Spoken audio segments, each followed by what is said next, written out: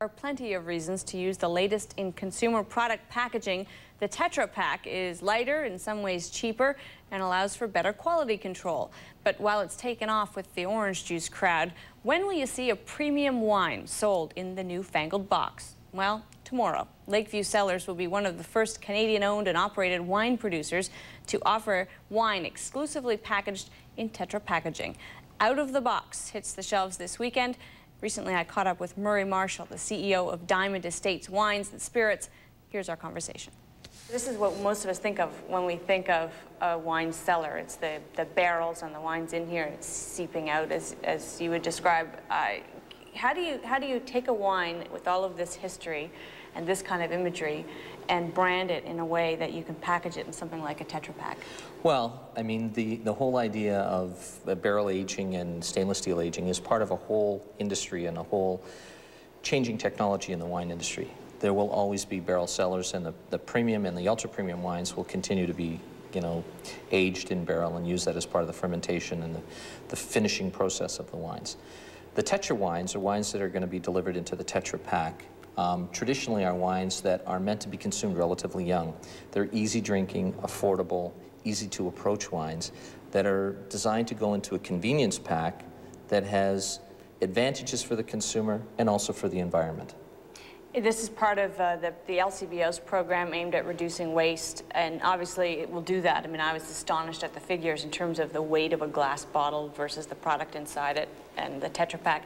From the winemaker's perspective, is there any saving for you? Is there any benefit to you that accrues here in terms of cost or anything like that? Certainly over, over um, a long period of time, those savings will occur. The, the actual cost of a glass versus the Tetra Pak uh, unit is, the Tetra Pak is less expensive. There's design and upfront costs in terms of developing those, and uh, certainly there's savings that come along the line in terms of shipping these raw materials to the manufacturing facility because you're certainly shipping more units at less expense. So there's some downstream savings that takes place as well. Now, quality is obviously uh, one of the things that has to concern you the most in terms of the uh, in terms of husbanding these brands. How do you manage that with something like this kind of a packaging? How do you make sure you're still in control of your product? Well, in this circumstance, um, the first Tetra Pak line to bottle wine was installed in um, a company called Landpak in Richmond Hill. And they've taken on a capital investment that are going to do this to produce wines for at least four other wine companies, including ours. And we feel you know, honored and uh, to be in the first flight of those brands that were produced in Canada. And certainly they have a, a tremendous quality uh, protocol that they have to go through, quality assurance protocol.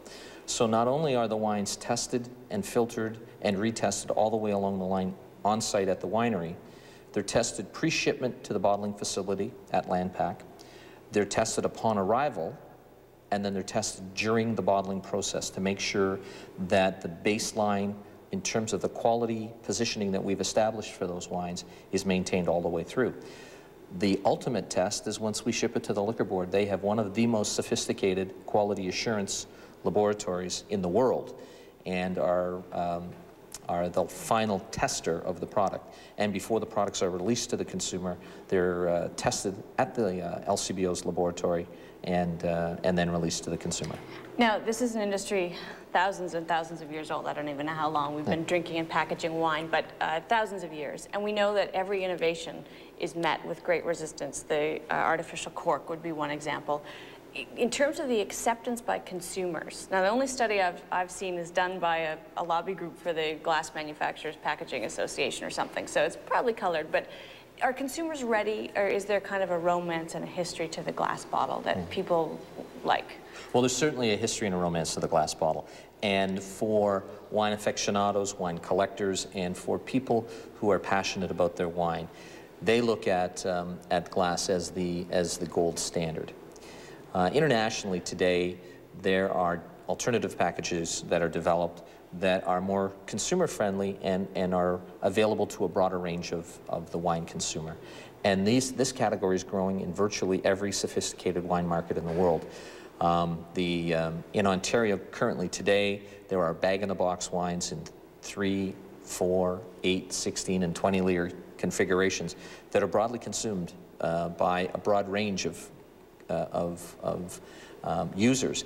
Um, in places like Australia, United Kingdom, France, Germany, bag-in-the-box wines or wines in alternative packaging, including PET bottles, are now becoming more and more readily accepted as usage patterns change and lifestyles change.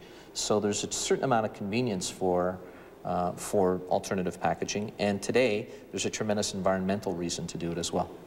You know as well as anybody through your work with VQA how important uh, branding is and establishing a credential or a trusted brand with, with consumers. Did, can we take it as a seal of uh, almost good housekeeping that somebody associated with VQA is using the Tetra Pak? Does that mean that we'll see VQA rated wines in Tetra Pak sometime?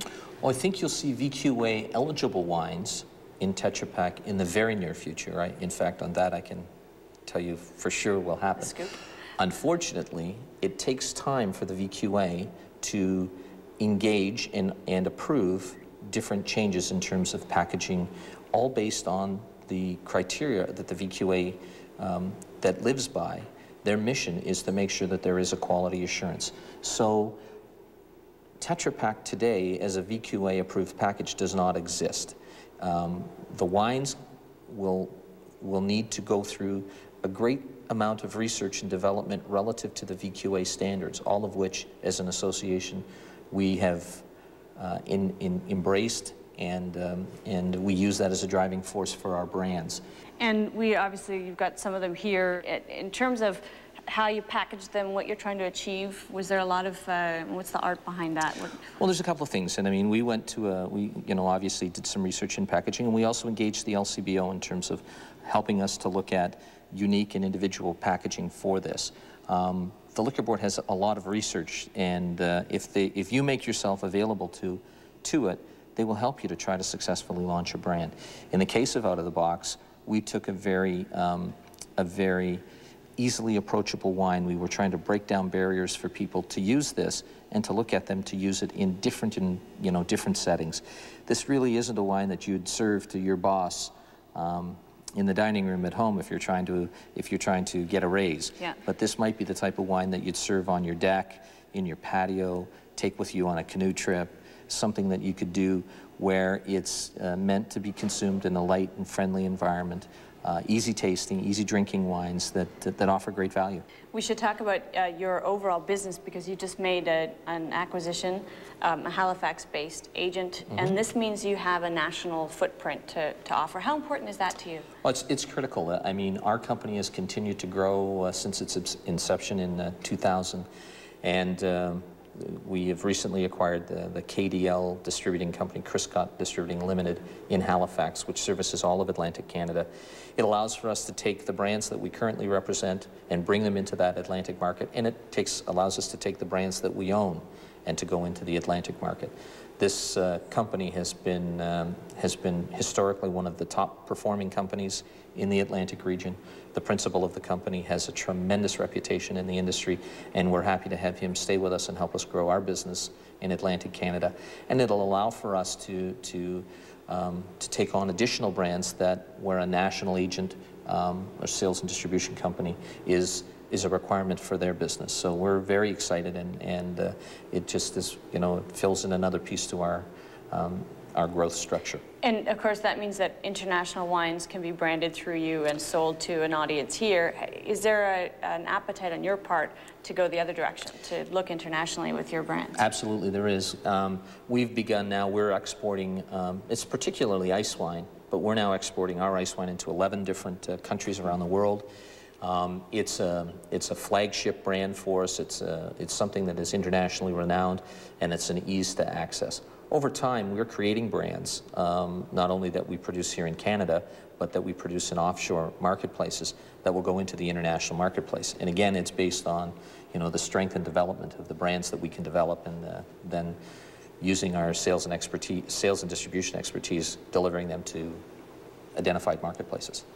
We appreciate your time today. Oh, it's been great. Thanks very much. Cheers. Cheers.